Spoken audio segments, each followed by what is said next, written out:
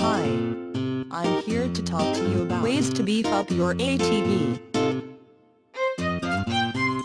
With new coming out every year, a quad that is king of the mountain one year may fall back to the middle of the pack the next year, and, of course, the more you ride and get comfortable with your ATV, the braver you are going to get and eventually reach a point when you have perfected the art of riding and run into a mud pit you can't cross or notice that some other quads can get the jump on you. Many people simply trade their quad when this happens, but there are a lot of things you can do to your quad to get even more power or custom tune your ATV to suit the terrain in your area or your riding style. One of the easiest ways to tailor your quad to local riding conditions is to simply change your how you grip the ground. There is a large variety of tires on the market that are made for extreme mudding, sand, and all-out speed over any terrain. Tread pattern comes into play when playing in the mud, so does sidewall strength and tire thickness. A mud tire with a thicker sidewall will give you more consistent performance when you're axle deep in sludge. Many people find that lighter rims also give them a slight edge in the mud.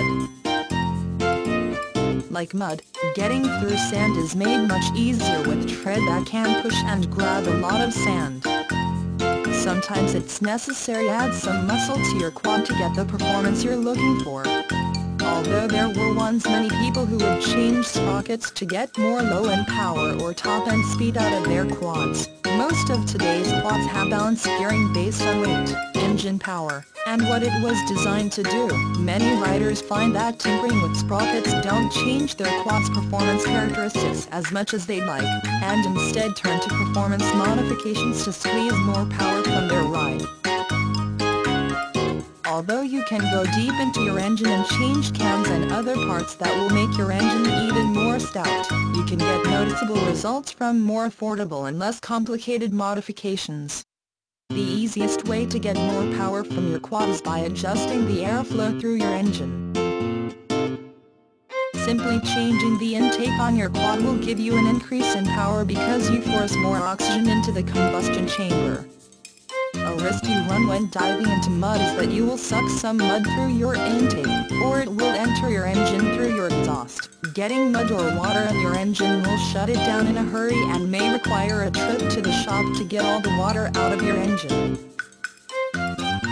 A snorkel kit may be necessary to get through some mud holes you encounter when riding regardless of what kind of quad you ride. With the horde of new ATVs that come out year after year, sooner or later it will fall to the middle of the pack.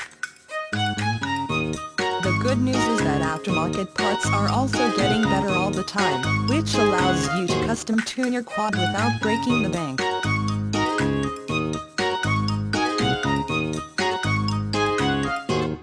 Hope you found it useful. For more information please click the link in description.